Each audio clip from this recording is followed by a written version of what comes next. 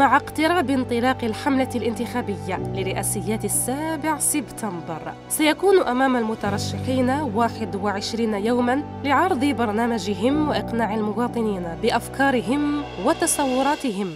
21 يوما سيجوبون فيها مختلف ولايات الوطن من شرقه إلى غربه ومن شماله إلى جنوبه. الهاجس الأكبر تعبئة المواطنين وكسر العزوف الانتخابية عبد العالي حساني. ويوسف أوشيش مترشحان من خلفية حزبية. فما هي خطة أحزابهما لرفع نسبة المشاركة؟ وما هي الآليات التي ستتخذ من أجل إقناع أكبر عدد ممكن من المواطنين للذهاب نحو صناديق الاقتراع والتصويت لصالح المترشحين؟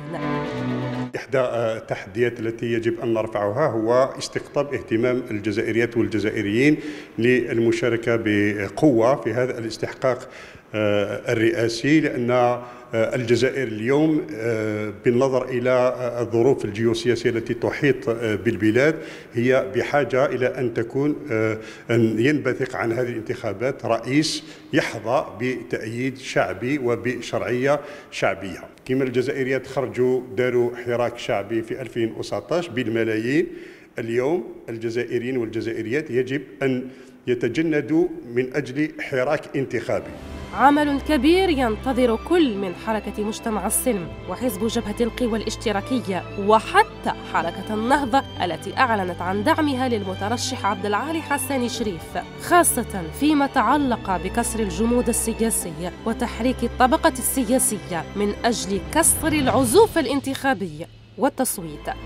نحن في حركة مجتمع السلم أولا نمتلك حاضنة شعبية كبيرة معروفة وهناك دعم من كثير من الشخصيات وحتى من أحزاب سياسية على رأسها حركة النهضة وشخصيات سياسية وازنة ومجتمعية ونخب. فلذلك كل هؤلاء يعني سيساهمون بلا شك في رفع نسبة المشاركة وفي توسيع الحاضنة. فنحن جاهزون لهذا الاستحقاق وبلا شك أن الحملة الانتخابية التي سنقوم بها نحن معولين نقوم بحملة إبداعية حملة جديدة حملة تتناسب مع السياق الموجود.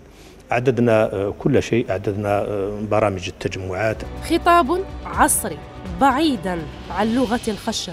الاستعانة بمواقع التواصل الاجتماعي لتنشيط حملة عصرية تواكب 2024 التركيز على إيجاد الحلول للمرحلة المقبلة بعيدا عن الوعود الواهية. كلها. أمور ستساهم في كسر العزوف الانتخابي والرفع من نسبة المشاركة.